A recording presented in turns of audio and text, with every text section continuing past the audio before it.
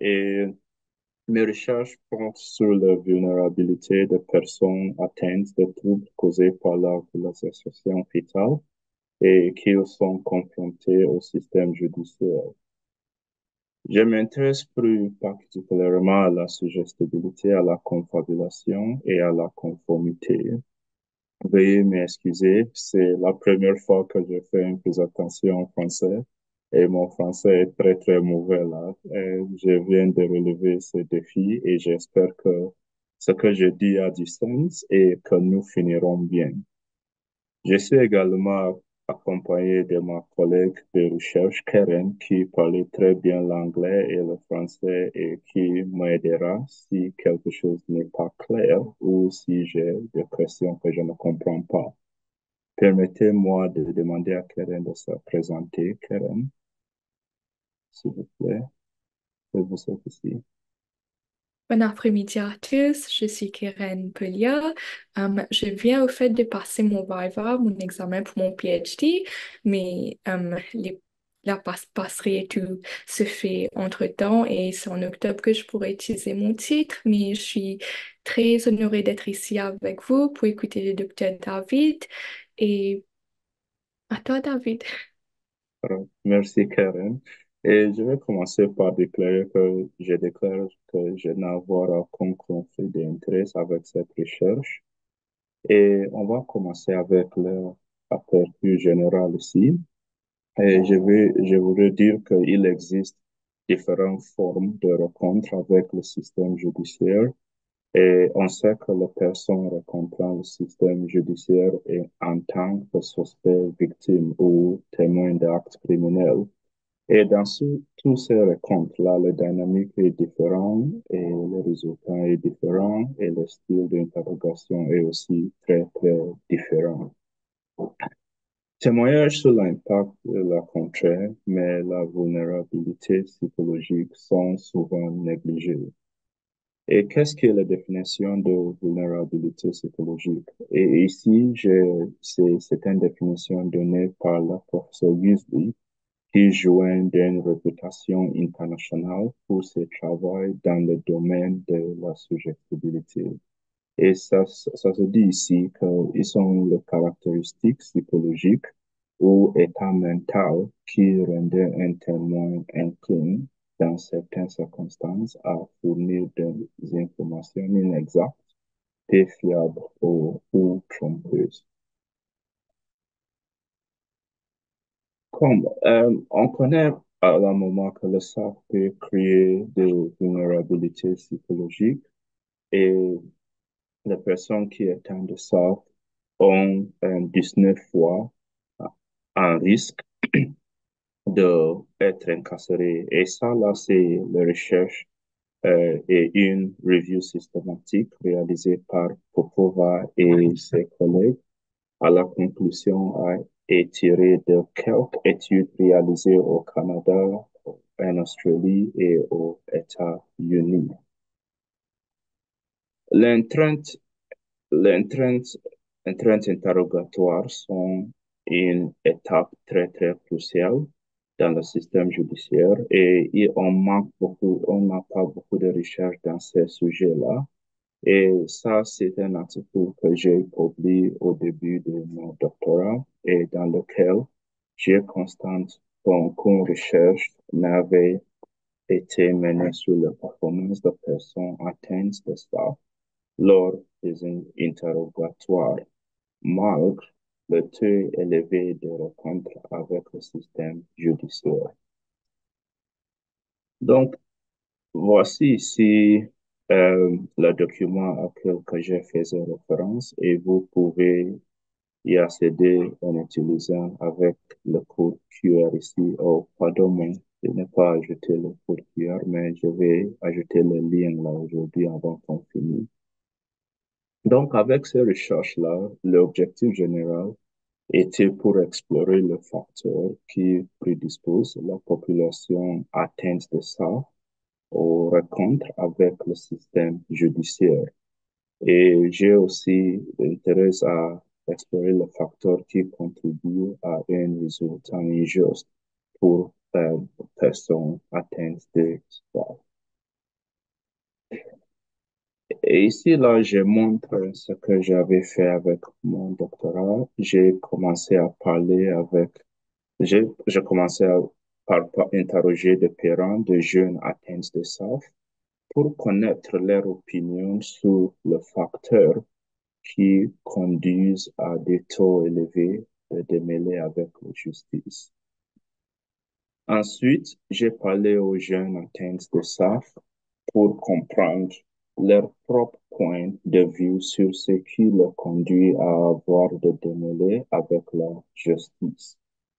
J'ai ensuite testé expérimentalement les réponses qu'ils m'ont données Aujourd'hui, je me concentrerai sur les résultats de l'étude expérimentale. Et aussi, s'il y a quelque chose qui n'est pas clair, il faut, il faut, s'il vous plaît, me, demander à la fin de cette présentation. Et encore, excusez-moi, mon français est très mal ici, là, c'est seulement mon première fois de faire euh, cette qualité de présentation en français, donc euh, il faut m'excuser. Donc, ici, là, euh, c'est la question, de, la question de recherche. Et dans, la première question est dans quelle mesure les personnes atteintes de SAF sont-elles suggestives par rapport aux témoins neurotypiques? Et la deuxième question était quelle est la relation entre la mémoire, l'impulsivité, la, la quotient intelligence et la suggestibilité chez les personnes touchées par la SAF par rapport à la population neurotypique? Collecte de données. Ici, les données sont collectées par des évaluations psychologiques et j'avais fait ça par distance et j'avais euh, travaillé avec euh, des enfants qui ont 11 et 17 ans et j'avais en tout 52 participants ont été évalués et 27 personnes atteintes de ça. Et l'âge moyen était euh, 12,7. Et on j'avais travaillé aussi, aussi avec euh, 25 témoins qui ont un âge moyen qui était 12,2. L'évaluation psychologique comprenait, j'avais commencé avec, pour utiliser l'échelle d'intelligence de Wechsler pour les enfants et j'ai utilisé l'inventaire d'évaluation du comportement de fonction exécutive. On appelle ça Brief2 en anglais. Et aussi, j'ai utilisé l'échelle de suggestibilité de Rogerson et ça, c'était une échelle qui, qui a été développée par euh, professeur Beasley, qui est ici à Londres avec nous. Donc, je voulais vous montrer le, le résultat là de cette euh, euh, recherche-là. Et le premier, le premier ici là, c'est le, le résultat de on appelle ça intelligence quotient en anglais, mais j'espère qu'en français, ça veut dire euh, le quotient intellectuel. Nous voyons ici que les jeunes atteints de ça, ici, là, euh, pardon-moi, ça là c'est en anglais, mais le, le groupe souffrant de ça avait des compétences cognitives plus faibles. Et toutefois, dans de nombreux pays, le système judiciaire n'apporte un soutien à personne dont le quotient intellectuel est inférieur à euh, 70. Le résultat, le résultat de la recherche nous indique que de nombreuses personnes atteintes de ça obtiendront pas d'aide du système judiciaire malgré la vulnérabilité en matière de suggestibilité que nous verrons plus tard dans cette présentation. Et ici, là, on voit que euh, le groupe euh, qui a atteint de ça a obtenu un score moyen de 60, 79 contre 112 euh, pour le groupe neurotypique. Ici, là, avec ces évaluations, j'ai utilisé la bref pour mesurer l'impulsivité et la fonction exécutive. Et l'impulsivité ici, là, signifie la mesure dans laquelle les individus, peuvent réguler leurs réponses aux stimuli. Les réponses aux actions et les fonctions exécutives signifient la capacité d'adopter un comportement orienté vers une vie. Si vous voyez la résultante à l'écran, vous vous rendez compte que j'ai souligné en rouge les résultats du groupe SA pour montrer leur étude de vulnérabilité. D'après les résultats ou ces deux résultats, nous savons que tout score tout score inférieur à 60 c'est situé dans la plaque normale, mais que tout score supérieur à 60 c'est situé certainement dans la plaque d'altération. Entre 60 et 64 est légèrement élevé. Entre 65 et 69 est potentiellement cliniquement élevé. Et tu euh, ok. Il y a un peu de bruit. J'ai vu un message avec quelqu'un pour moi. Ok. Alright. Euh, je vais continuer maintenant si, ça va maintenant, le bruit là. Ok. Entre 60 et 64 là est légèrement élevé. Entre 65 et 69 est potentiellement cliniquement élevé et tout score supérieur à 70 est cliniquement élevé. Et la majorité de échantillons ça reflète, reflète en fait une altération cliniquement élevée. La prochaine série de résultats que j'aimerais vous montrer est celle de l'évaluation de la suggestibilité. Et c'est ici. Pardon-moi. Alright. OK. Cette diapositive montre le résultat de l'évaluation de la suggestibilité. J'ai utilisé l'échelle de suggestibilité de Gaugensen pour l'évaluer et je vais vous expliquer comment cela se passe. Un jour, un jeune atteint de SAF vient s'asseoir devant moi. Euh, OK. Euh, un jour, un jeune atteint de vient s'asseoir devant moi. Je lui raconte une histoire très courte. Cette histoire ne dure pas plus d'une minute et de quand j'ai terminé là, je lui dis, peux-tu me raconter tout ce dont tu te souviens de cette histoire? Je recueille leur version de l'histoire et je l'enregistre. Dès que j'ai terminé, je leur accorde une pause de 50 minutes au cours de laquelle nous pouvons faire d'autres activités. Dès qu'ils ont terminé les, activités-là, je leur demandé de revenir me voir pour me parler, pour me parler. Dès qu'ils reviennent, je leur dis, dis alors, pouvez me dire tout ce dont vous vous souvenez de l'histoire que je viens de vous raconter. Dans le version que j'ai enregistré, je suis attentif à un certain nombre de choses. Tout d'abord, je m'intéresse à la quantité de faits dont ils se souvenaient de l'histoire originale. La quantité de faits m'indique la force de leur mémoire le deuxième élément que je recherche lorsque j'analyse ces deux versions et c'est ce qu'on appelle la confabulation.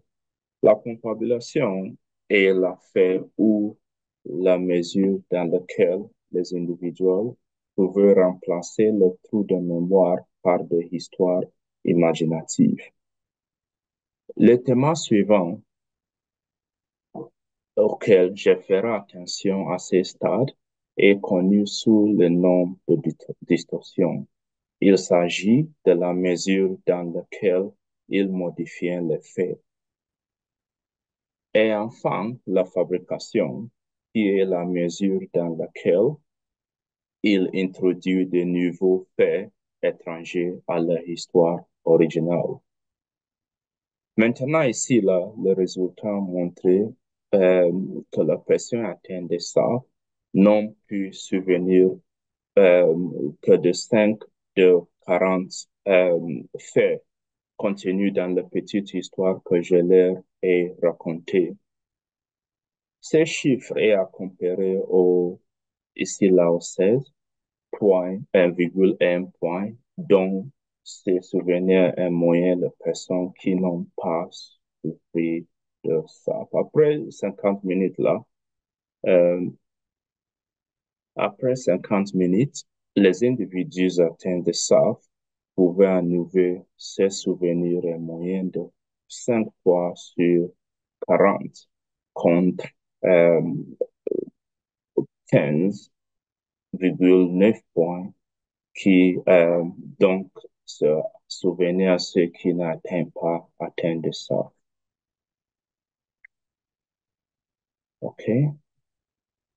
Donc, avec la confabulation ici, nous pouvons voir d'après les résultats que les personnes atteintes de ça et celles qui ne le sont pas au moment de l'évaluation n'ont pas observé de différence.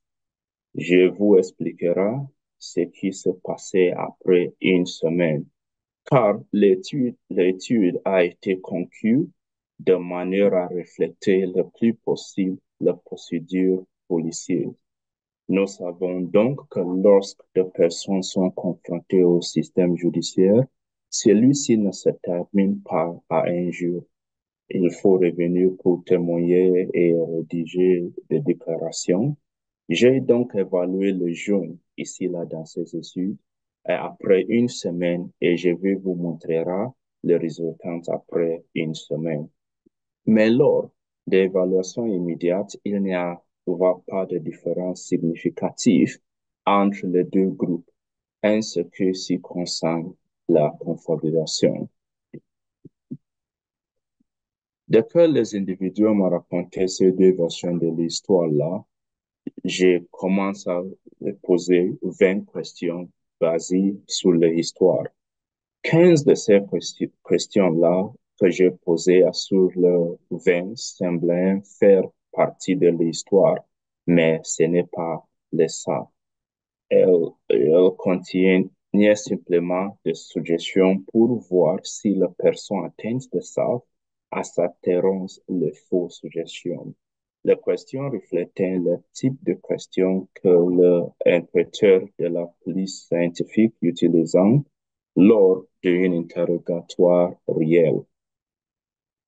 Le rendement nous indique donc le nombre de suggestions que cette personne acceptera comme étant la réalité. Par exemple, l'histoire réelle était celle d'un jeune garçon à vélo qui descendait une colline, mais dès que ses freins se sont brisés, il a commencé à appeler de l'aide. Mais lorsque je viendrai poser la question, je leur posera alors des questions telles que le garçon a-t-il franchi un fait de circulation ou un panneau d'arrêt alors qu'il roulait à vélo? Il n'y avait pas de fait de circulation, il n'y avait pas de panneau d'arrêt dans l'histoire, mais ce sont des suggestions à voir si il accepte ces suggestions. Ces questions ressemblaient à celles utilisées dans le système judiciaire. La suggestion d'une panneau d'arrêt ou d'une fait de signalisation créait une pression psychologique dans l'esprit de la personne, lui faisant penser que l'une des deux options doit être correcte.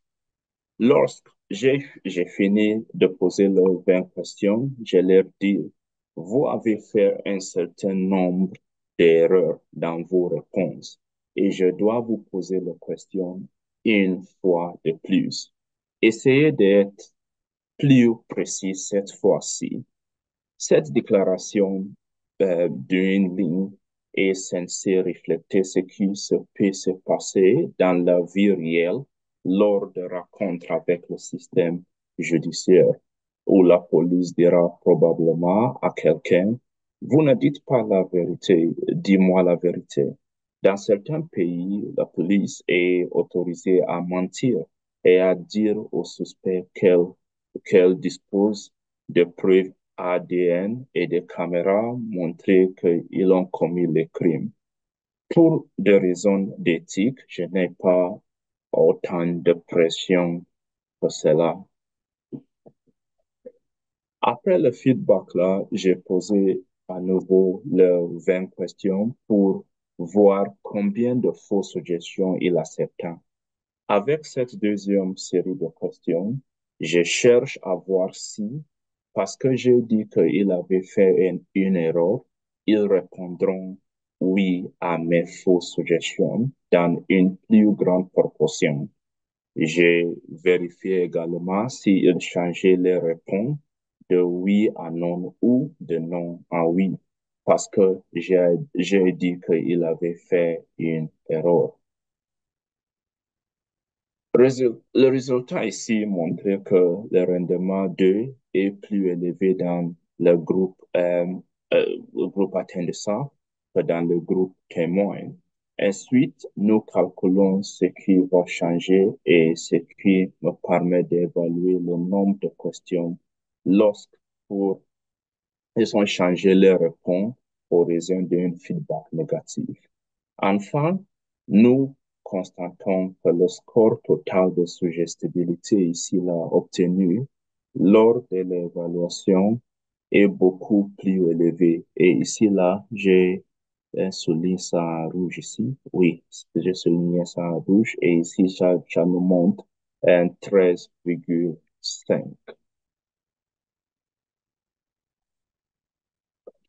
Right. Comme je l'ai mentionné, nous avons essayé de faire en sorte que cette étude, étude ce qui se passe dans la vie réelle. Dans le système judiciaire, les affaires ne se terminaient pas à un jour. On vous demandait de revenir deux mois, neuf mois ou un an plus tard pour raconter ce qui, ce qui s'est passé. Nous ne pouvons pas mesurer ce qui s'est passé il y a deux mois ou neuf mois, mais je l'ai évalué à nouveau après une semaine. Ainsi, l'évaluation immédiate après 50 minutes et après une semaine commence à nous montrer un modèle. Au bout d'une semaine, lorsque le jeune revient me voir, je lui dis qu'il peut me raconter l'histoire que je lui ai racontée il y a une semaine et dès qu'il m'a la raconté, j'enregistre à nouveau la version pour voir ce dont il se souvient et s'il y a de confabulation de son histoire. Et ça, c'est après une semaine aussi. Une fois qu'ils ont fini de me raconter l'histoire, je leur pose, je leur pose à nouveau les 20 questions qui contenaient de fausses suggestions pour voir s'il acceptait les fausses suggestions. Voici ici là le résultat après une semaine d'évaluation. Les mémoires, euh, pardon-moi, ça là c'est en anglais, one week recall. Les, les mémoires ici là, ça nous montre que c'est toujours faible euh, le rendement était très élevé et la suggestibilité aussi était également très élevée dans le groupe qui ont atteint ça. Mais ici, là, je, à, à la moment là, je voudrais vous montrer quelque chose avec le score de euh, confabulation. Euh, parce que si vous vous souvenez bien, le score de confabulation n'était pas significativement différent entre le groupe SAF et le groupe témoin, mais après une semaine, nous constatons que le groupe SAF a maintenant des scores de confabulation plus élevés. C'est ça ici, on voit que ça, ça nous donne ici 2,7 euh, contre 1,4. dans le groupe de témoins. La question que nous nous posons en tant chercheurs est de savoir ce qui se passerait après deux semaines, après trois semaines, après un an. Euh, nous pouvons conclure que ces vulnérabilités pouvant être, être beaucoup plus importantes. À ce stade, je vous invite à réfléchir à ce que nous venons d'évoquer. Euh, ici, là, c'est seulement le QR là, pour le journal, là où on avait publié ces articles-là, et vous pouvez euh, euh, lire ça si, mais pardon-moi encore là, tout, on, on avait publié ça en anglais, donc, mais si vous pouvez, euh, c'est ça, ça sera très bien pour voir ça. Je voulais également dire que l'étude expérimentale là que euh, je, je, présente aujourd'hui, c'était fait tout à, distance, à, distance.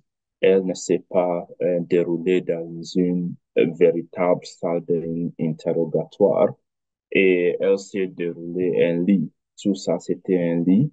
Le participant a été accompagné de leurs parents, mais nous constatons toujours une suggestibilité et une confabulation élevée. Nous nous demandons maintenant ce qui se passerait dans la vraie vie lorsque la police interroguera la vraie euh, vie. Et à partir de vulnérabilité GSS identifiée, on voit que la suggestibilité interrogative totale était très, c'était, c'était beaucoup dans le groupe atteint de ça.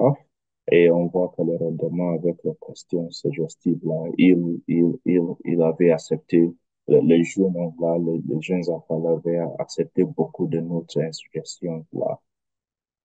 Je terminerai en mentionner cette citation euh, de l'apparence des Nations Unies qui, euh, qui dit, euh, qui le soutient, que les enfants souffrant de retard de développement ou de troubles ou handicap neurodéveloppemental, par exemple, troubles de spectre autistique, troubles de spectre d'alcoolisation fœtale ou lésions cérébrales accusées, ne devra pas être pris en charge par le système de justice pour mineurs, même s'ils ont atteint l'âge minimum de responsabilité pénale.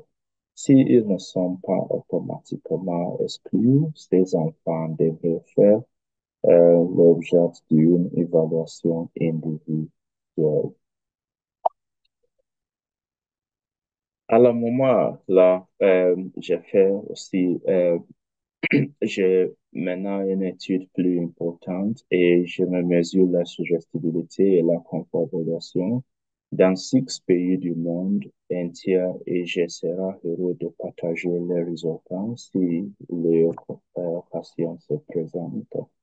Et pardon-moi si ça là c'est très court à le moment, mais je voudrais seulement, seulement demander s'il y a ou bien si quelque chose n'est pas clair là.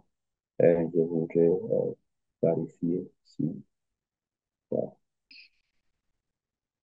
Euh, donc, euh, il y a eu, donc nous avons eu quelques questions. Euh, tout d'abord, est-ce que vous pouvez rappeler le nombre de personnes qui ont participé à l'étude? Ça a échappé à quelques personnes. Oui, pas de problème. Merci beaucoup pour cette question-là. Oui, on avait 52 Ok, euh, totalement et on avait divisé les 52 là dans deux groupes. Il y a le groupe atteint de ça qui avait euh, le staff et les groupes neurotypiques là qui ont formé le groupe témoin. Donc 52 personnes atteintes de TESAF qui ont participé à cette étude. Oui, global? ils, Oui, ça. Ils, ils, ils ont 27 totalement euh, personnes atteintes de ça, 27 et le neurotypique groupe là, il était euh, 25. Donc D'accord. totalement, on a euh, 52. Ok. Et donc, une étude pour mon doctorat. ok. Et donc ça fait le lien avec votre dernière euh, slide où vous cherchez donc à agrandir euh, l'échantillon, euh, de faire ça sur un plus grand groupe de personnes. Oui, oui, c'est comme ça. Euh, à la moment là, on fait ça dans euh, six pays euh, pour pour étudier ça dans une grande population pour voir ce qu'on va trouver. Ok. Euh, la, la, seconde euh, question, euh, donc en Angleterre, avez-vous eu des procès concernant des personnes atteintes de TESAF où ben, le TESAF a été une circonstance atténuante, c'est-à-dire que le handicap a été pris en compte lors du jugement. Est-ce que vous avez connaissance de jugement? S'il vous plaît, je voudrais une translation en anglais là parce que um, do you know if uh, if if in England uh, law uh, during a sentence, sentence uh, yeah yeah FSAD was a um, was taking in count. Consideration taken into account. Oh Ouais. non non not at all. Non complètement non il sait rien complètement là ici. Il y a beaucoup de travail à faire ici parce que les gens même dans le système judiciaire ils ils savent, rien là à propos de, de ça. À la moment là j'ai fait beaucoup de travail avec des officiers de probation je ne sais pas si vous avez, ça là-bas en France là. Et j'ai fait beaucoup de euh, training là avec eux. Et à la moment là j'ai eu un accord pour former des officiers de police euh, pour les traîner aussi au staff. Donc ici là c'est peut-être là-bas en France là vous vous avez beaucoup là de, de gens qui connaissent euh, le staff mais aussi là c'est un grand sait rien. D'accord. Donc pour, euh, pour reformuler, donc euh, en, en Angleterre, vous avez bien dit que non, euh, à votre connaissance, c'est pour l'instant difficilement pris en compte lors des, Hmm. Du procès, euh, mais que vous, via votre action, euh, vous formez, donc euh, vous essayez de former les, les, les officiers de, de police notamment à, à ce handicap. Euh, et concrètement, quelles sont les adaptations faites par les officiers de police? Oui, euh, ce que je suggère, suggère ici, c'est tout d'abord à la policier que- d'éviter de poser des questions euh, contenant des suggestions et réduire la pression d'interrogatoire. Euh, pardon, moi je vais dire ça en anglais pour peut-être si Karen ou vous, vous pouvez translater ça. So uh, I'm saying, Karen, if they reduce the interrogative pressure, so pressure during interrogation is important for, you know, to really ensure that the environment is mild and not, you know, really apply interrogative pressure because these children are vulnerable, or young people or people with FAS, they are generally vulnerable. Le docteur David nous dit qu'il est en train de conseiller aux policiers, aux autorités, de faire en sorte de ne pas mettre beaucoup de pression sur nos jeunes parce que les jeunes sont des personnes assez vulnérables, surtout atteintes du syndrome. Et il a besoin que les policiers et l'autorité comprennent ces jeunes avant de mettre toute la pression judiciaire qui existe déjà. Du- During court cases, there were two court cases I, I participated in where I assessed the young people with FASD and I wrote a report to the judges. These were some of the arguments I made that certainly, uh, you know, there must be modification in the cross-examination and processes. And thankfully, the judges read the report and the two young people were completely um, released from the justice system. Amazing. Um, yes, so le docteur David, il a au fait um, eu des requêtes à pouvoir montrer sa recherche um, à la cour et il a écrit deux lettres pour deux juges qui les a um, cette lettre les a parlé sur um, et les jeunes atteints de cela et qu'est-ce qu'il a trouvé, l'impact de sa recherche aussi.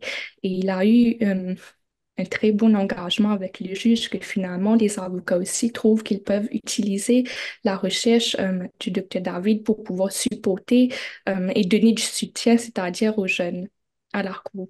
Alors, euh, vraiment un bon travail, mais c'est un bon commencement.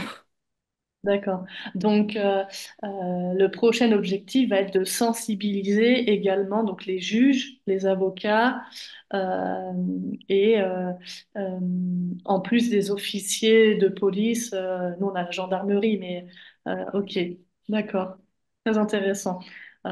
Chose que nous aussi également en France, on, essaye de, faire, notamment. Donc, on a vraiment les, les mêmes problématiques. Il y a une autre question. La suggestibilité est-elle propre aux personnes atteintes de TSAF ou on peut les retrouver dans d'autres troubles du neurodéveloppement? C'est-à-dire euh, comment euh, ben, faire la différence euh, entre le TSAF et un autre trouble du neurodéveloppement? Oui, merci beaucoup. C'est ça là, c'était une question très, très importante. Et pour, pour communiquer ça très bien, je vais parler en anglais aussi. Et si vous pouvez euh, dire ça en français, ça, ça, je vais euh, être très, très euh, avec ça. Donc, with suggestibility, um, we have differences between autism and ADHD and FASD. Nous avons des différences entre euh, l'autisme et ADHD. Euh, I don't know how to say ADHD. ADHD. TDAH. Ouais. Oui. Eh, so for for for individuals with autism, so applied suggestibility, on a qu'on appelle compliance. C'est c'est comme la conformité, non? On appelle ça conformité. Et avec ça là, il y a un peu de différence parce que with suggestibility, somebody tells you accept your false suggestions and thinking it is the truth. I want to go it slowly so you translate it for people to understand. Est-ce que vous voulez y aller euh, peut-être Karen ou je... Ça Oui, va, si, if you got it, ça va, euh, si j'ai bien compris, euh, oui, dans, par exemple, la différence avec l'autisme ou le TDAH, dans la oui, suggestibilité, euh, ici, c'est que la personne croit ce que vous lui suggérez est vrai. oui. Donc, mais avec, avec la conformité, Oui, la personne, the, the person tells you a yes, but Mm, internally they oui, know they they know the correct answer. They have just told you yes because they want to please you. ouais. Euh, du coup, euh, ils vous, euh, les, les personnes justement qui sont très suggestibles euh, vous disent euh, oui, alors que, en fait, pour vous faire plaisir, hein, c'est vraiment ce biais, nous on appelle ça en France un biais de désirabilité sociale, c'est-à-dire qu'on va vous dire oui pour vous faire plaisir, alors qu'intérieurement, bah, ils le savent que c'est pas forcément vrai, mais That's right. ok, That's right. But now with autism and ADHD, they are more compliant from research, what we what we have studied by the work of Professor Gisli Godjensen and others. Autism, ADHD, say la conformité most times. So they can be suggestible, but majority of what we see is compliance. ok. Donc, euh, euh, à la différence de l'autisme et le TDAH, euh, ils sont bah, plus difficilement aussi suggestibles. Conformité, compliance. à l'autre. C'est bien ça. Um, they are more compliant, but the FASD group shows suggestibility. Euh, Does that make sense? ouais. Euh, juste la traduction en français du mot compliance. Compliance, je- ça veut dire euh, conformité, non? Is that right? Ok. Ok. Yeah, so the, the, the FASD group shows suggestibility completely. They are saying yes, believing your suggestions. From the research we have done, we've seen that it is a complete acceptance of false suggestions. So they accept your suggestions as reality. Ah, ok. Euh, C'est bon, ok. Donc, dans, chez, excusez-moi, chez les personnes TSAF, donc justement, cette différence en termes de suggestibilité, c'est que eux euh, euh, croient en la réalité que vous leur suggérez, à la différence de l'autisme ou le TDAH, euh, notamment. Ok, c'est beaucoup plus clair euh, Oui, avec les because they are closely related. Ils sont comme un peu ensemble, la suggestibilité et la conformité. Mais la différence est avec les personnes atteintes de ça, ils, ils vont accepter la suggestion complètement. Mais avec euh, autisme et ADHD là, ils pouvaient être avec beaucoup de suggestibilité aussi, mais la première des main points is, is compliance, c'est la conformité. Et, avec la conformité là, quelqu'un peut vous dire oui, mais dedans, dans leur esprit, ils connaissent que, que leur réponse là, c'est pas la vérité. Ils seulement dit oui parce que vous voulez vous plaisir quelque chose comme ça. Ok.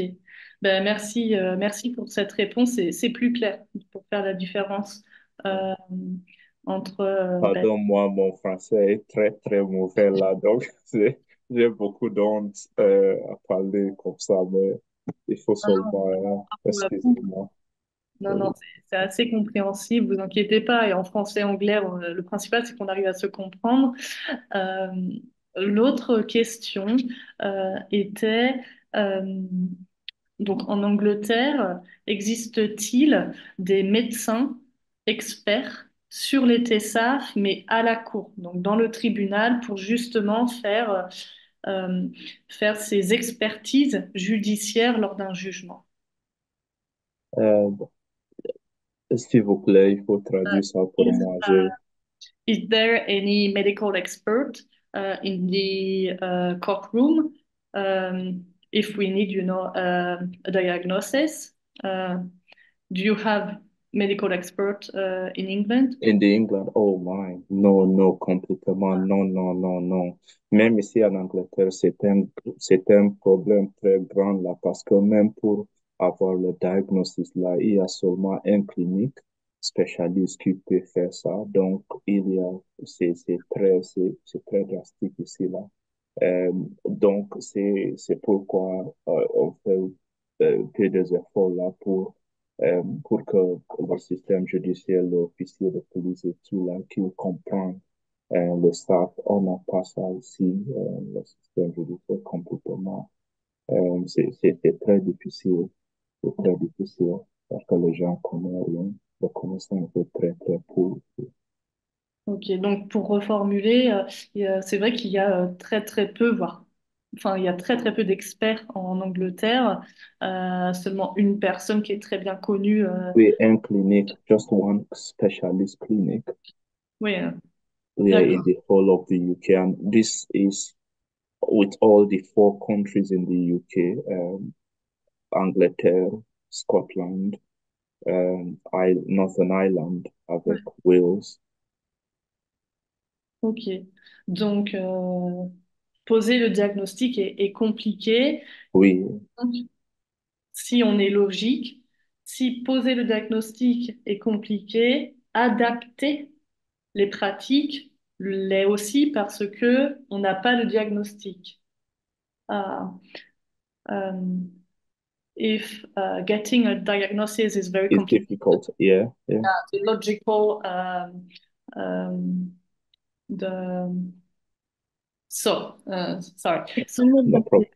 if we have, if we don't have any diagnosis yeah. it's to adapt adapt the it's the, going to be harder to sort of adapt the code as well if you don't yeah. have the no ça c'est la vérité oui Emily yeah. Yes certainly. And this is the problem because uh, le diagnostic là est très difficile à avoir. Donc what we are trying to do is to educate the people in court, the lawyers, the advocates, uh, l'avocat, the judge, and all the probation officers to realize that, look, here there is a problem because diagnosis is poor, c'est mm. difficile. Mm. So please pay attention. It is possible that the cases you are handling may be FASD. And if they can on their notes with the knowledge of FASD, documented that, oh, this person doesn't have a diagnosis, but with what we know, this looks like FASD, then it will give the courts information to say, go for a diagnosis. Okay. Does that make sense? Il y a l'enjeu du repérage, du repérage des signaux d'alerte euh, pouvant évoquer donc un, un TSAF FSAD, pour ensuite pouvoir le mentionner au juge pour demander par la suite un processus diagnostique pour pouvoir après tout cet enjeu d'adapter les peines, adapter l'accompagnement, que ce soit dans le milieu judiciaire, mais également ça peut être à, à l'école, dans le social, etc., etc. Euh, une dernière. Euh, euh, voilà, j'ai une question. Hein, peut parler sur la forme de communication avec support visuel peu limité. Ah. alors, nous avons une question. il va falloir la traduire en anglais, je pense, Karen. Pas de problème. Est-ce que la suggestibilité peut varier selon la forme de la communication? C'est-à-dire, est-ce que la communication avec un support visuel peut limiter la suggestibilité par rapport à une communication uniquement verbale, si on utilise des pictogrammes, par exemple? Okay. Yeah, so David, this person actually apologizes to you first because they've um, come at the webinar a bit later, mm. and now they're telling you um, so the suggestibility that you're actually providing to people, it's in a verbal manner that you're giving it to them, like the letter to the judge, for example, at court. So now what you can do with this, um, like the communication you're giving out to them, could you perhaps do it in a more visual manner as well? Not just verbal, for example, using diagrams, pictograms, anything like that, that could support your research alongside that. Is yeah. there of that? Yeah, I think that's a fantastic idea. Um, we it's just just because of the level of knowledge, there's just so much still undone. So certainly, I'll be happy to do this to, to support the young people. Thank you. Yeah. Euh, donc, euh, pour l'instant, il n'y a, a, pas eu euh, une recherche euh, là-dessus parce que c'est un champ très très large, il y a énormément à faire, mais en effet, ce serait une piste euh, de recherche pour, euh, pour voir s'il y a un lien ou non. Ok, très intéressant. Euh, alors peut-être euh, une, ou une ou deux questions encore. Est-ce que cette suggestibilité, on la retrouve autre part, c'est-à-dire à, l'école, dans la vie familiale, mmh. en dehors du système judiciaire Est-ce que c'est présent de manière globale? Euh, si, si je comprends ça, euh, euh, vous demande si la suggestibilité peut manifester dans euh, la famille et tout et tout. Um, does that mean the person is asking if suggestibility can be displayed in the family in social settings? Is that correct? Not just family as well, but take it on a more global level. Tell them about how you're doing your research in um, America, Australia as well, because you're you're literally looking at stuff in other places also. All right. So is, is are they asking if I'm looking at it outside in different? Oui, oui, oui. À la moment, j'ai j'ai commencé une euh, grande recherche là pour euh, étudier ça dans euh, même beaucoup de pays. on fait ça en Australie, États-Unis, au Canada, euh, Nouvelle-Zélande, ici en Angleterre. Euh, c'est même c'est parce qu'on a on a des problèmes avec les langues là, mais et tout ce que les chaînes qu'on utilise là, ils sont en anglais, donc c'est pas facile pour faire quelque chose euh, dans le pays francophone. Mais oui, c'est quelque chose qui qui, ça, ça, me donne beaucoup d'intérêt là dans ça. Donc, oui, oui. Ok. Euh, et la dernière, euh, peut-être une dernière question. Euh, pour éviter euh, que les personnes se retrouvent dans le système judiciaire, euh, ben, comment faire? Comment, comment adapter l'environnement, par exemple? Um, this question is asking how to adapt the environment. Yeah, to yes, to try to not find the people with the face with FSAD in the judicial system, how to prevent them to from going into the system. So. Yes, oh, that's a big one. Um, that's right. a big one. Um, yeah, I think it's, in my opinion, first of all, people need to, you know, know about FSD right from the school system à l'école, dans la famille, dans la société, everywhere. Once people s'y connaissent, euh, le, comme, la manière de là, ça va aider parce que tout ça, c'est, for instance, in my research, um, I didn't describe the other studies, but many times these children are excluded from school right? They are excluded from school because the teachers don't understand FASD.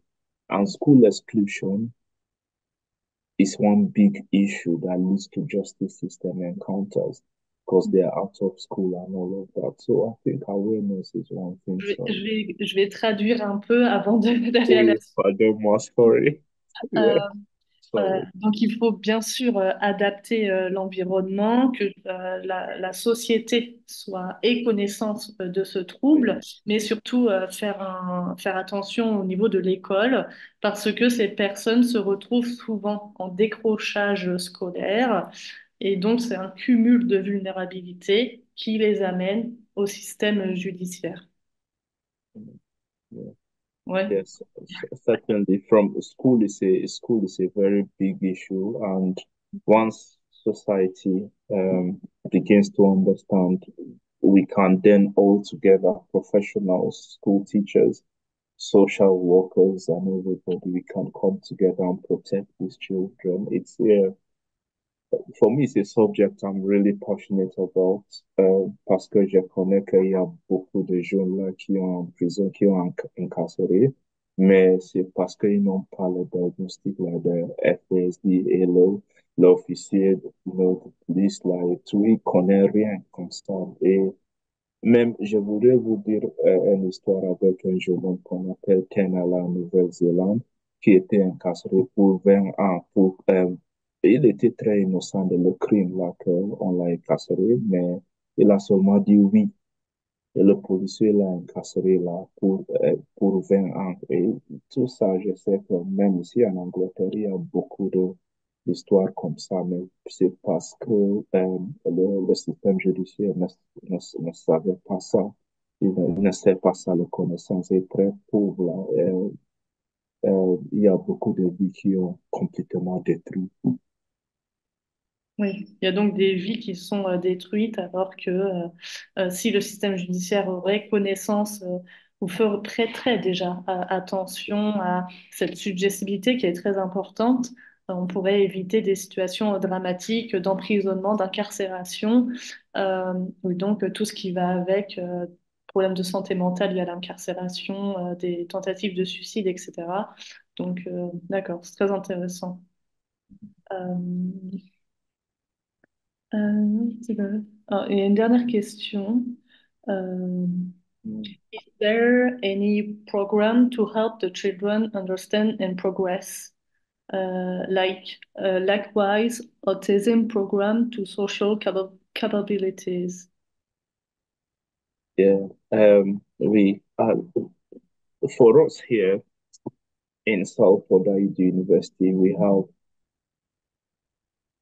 a few of our colleagues who are developing programs to support, for instance, parents to support their children. We got a bit of funding from the government.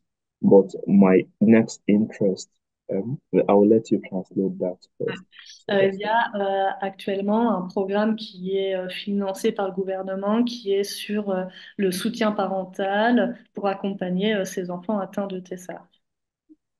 Yeah, um, but with this bigger study uh, I'm trying to do, mm. our target is to, once we confirm what we found from this first study, we will be developing targeted interventions because we're trying to organize, uh, understand the mechanisms of suggestibility. That's what this bigger study is going to do.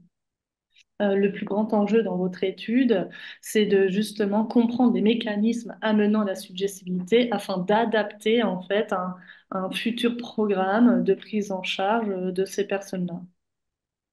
Ok. And once we understand that, quand on comprend ça, euh, on va commencer à développer euh, ce, ce, ce programme-là pour aider les enfants-là parce que c'est ce qu'on on, on veut faire. D'accord. Oui, c'est l'enjeu l'enjeu euh, final euh, de, de, des études. D'accord.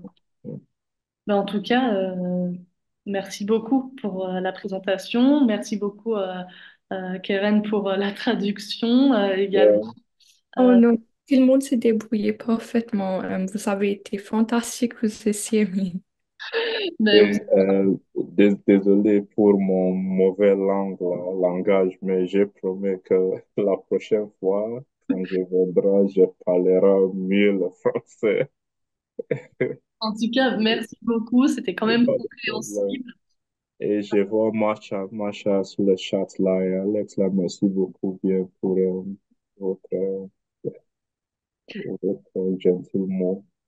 Très bien. Euh, dernière question. Est-ce que vous serez à EUFASD à Madrid? Yeah, je, vais venir, mais j- à le moment là, je possède mes papiers là, mais je vais D'accord. venir si ça On se retrouvera là-bas alors. Oui, oui. J'ai j'ai rencontré Macha là à, à Madrid, c'était en 2022, comme ça. Oui, mais ça D'accord. sera un plaisir aussi pour, Ben, merci pour. Oui, Très, très bien. Merci beaucoup. Je vais maintenant ben, clore ce webinaire qui était très intéressant. Euh, voilà. Et je, je vous souhaite à tous et à toutes euh, un bon après-midi. Merci beaucoup. Au revoir. merci beaucoup.